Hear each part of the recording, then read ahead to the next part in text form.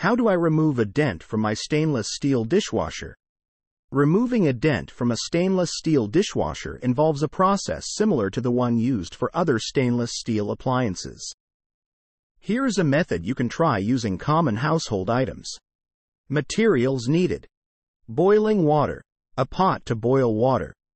Compressed air or a vacuum cleaner.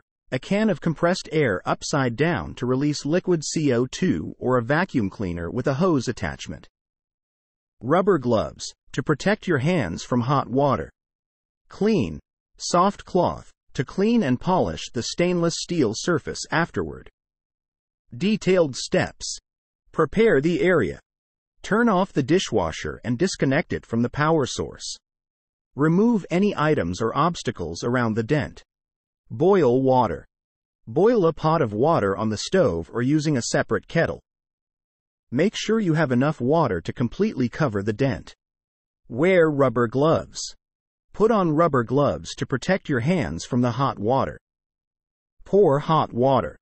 Carefully pour the boiling water onto the dent. Ensure the entire dent is covered. Act quickly. Immediately after pouring hot water, act quickly with the cold treatment. If using compressed air, spray it upside down to release liquid CO2. If using a vacuum cleaner, place the hose over the dent. Repeat if necessary. If the dent doesn't pop out on the first attempt, repeat the process. Alternate between hot and cold treatments until you see improvement. Clean the surface. After successfully removing the dent, clean the stainless steel surface with a soft, clean cloth. Additional tips. Heating and cooling. The rapid expansion and contraction of the metal due to the temperature changes help in popping the dent.